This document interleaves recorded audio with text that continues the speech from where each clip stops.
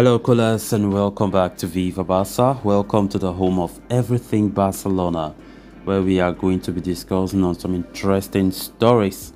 We start with young left back Alejandro Balde, as it has been reported that the Barca youngster could get a World Cup call up over veteran defender for Spain, talking about Jordi Alba in this case. We're going to be discussing on that as we progress. Then, secondly, talking about this report let me that Barcelona's support of new Spanish sports law has angered several Liga clubs.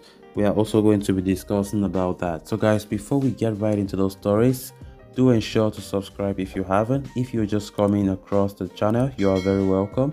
Consider liking the video and please watch right up to the very end.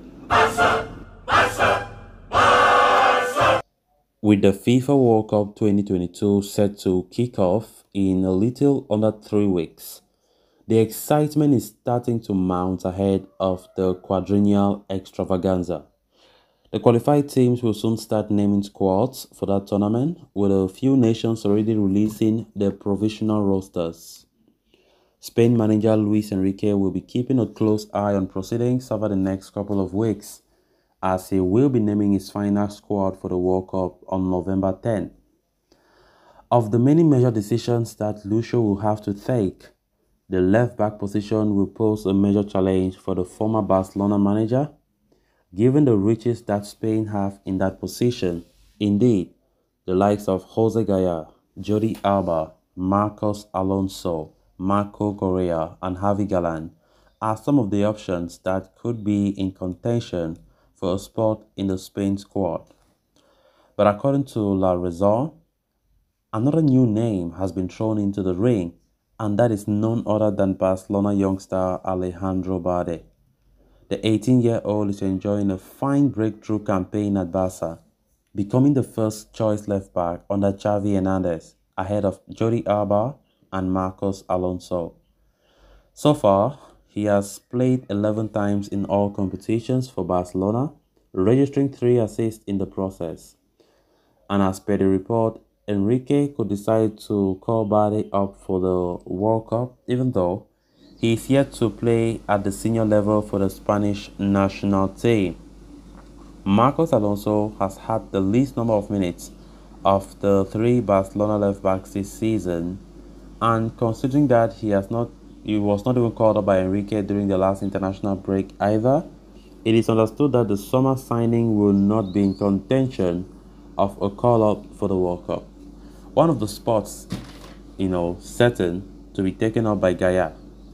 Why Alba has picked by was picked by Enrique last month, even though he had hardly played, the manager could lean towards Balde when the World Cup arrived, owing to his greater involvement and better form.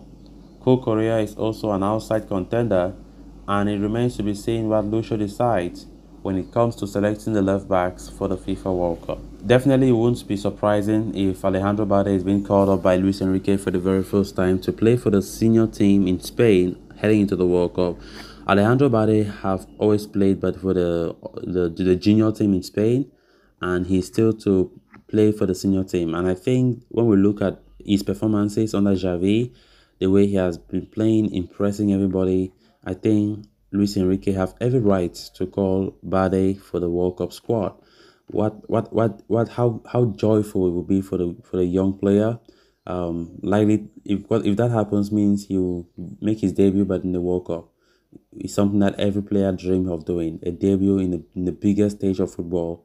So, according to this report, you know Luis Enrique is likely to go for Balde, which would, wouldn't be that surprising considering how good he has been this season.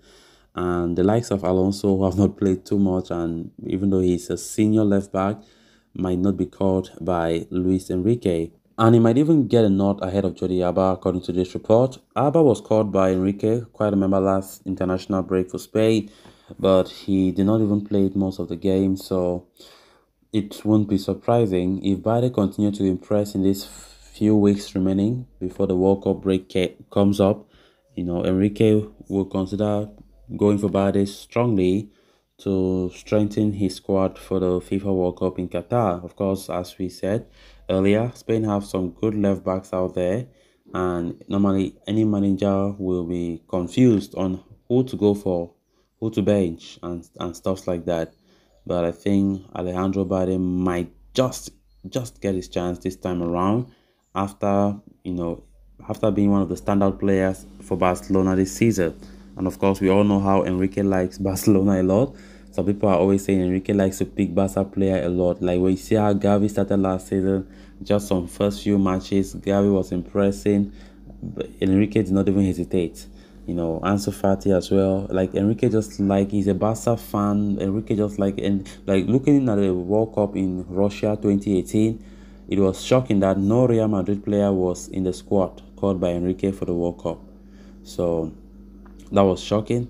So let's see how it's gonna look like. But if things continue like that, then let's count out um Balde in because from the way he have been playing this season, I think Enrique himself will be so happy. Then on to the next story of discussion, the upcoming verdict of the sports law that is being discussed in the Sports Commission of Congress is said to upset a majority of the Spanish clubs with a report from SER confirming that the governing body will give the green light to the decision of not having a break in Spanish football. Interestingly enough, the decision involves not only the top tier of the country's footballing circle, but also the second division, meaning that as many as 39 clubs will be affected by the settlement. For now, there is no official word on the same as the agreement is being voted upon in the Congress of Deputies so, if everything goes as planned, the break in Spanish football will be avoided.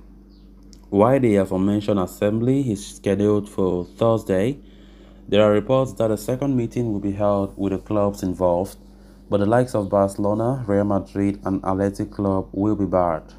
This is mainly because these three teams agreed the current decision, and that has angered the rest of the teams. As a result, several top-tier teams are planning to go on strike on October 28 if the law is not changed. The persisting political tensions is mainly related to three factors. First, the rest of the teams are fearing the possible implementation of the European Super League. Second, the income earned from the TV rights is another issue. And lastly, the transparency between the clubs and the RFEF will also be called into question. As of now, the presidents of many La Liga teams are of the belief that their options are not taken into consideration. Or let me say their opinions rather. Furthermore, calling out the transparency, they also feel that the only president that truly has power is Florentino Perez and that he is dictating the law, which is not correct. For now, the agreement involving the CVC Economic Fund is still being negotiated but there is floating word that a principal agreement is already in place, and this is indeed going to prevent domestic football from going into a break. So guys, with that we have come to an end of this episode. Thanks so much for watching. Until next time, bye for now.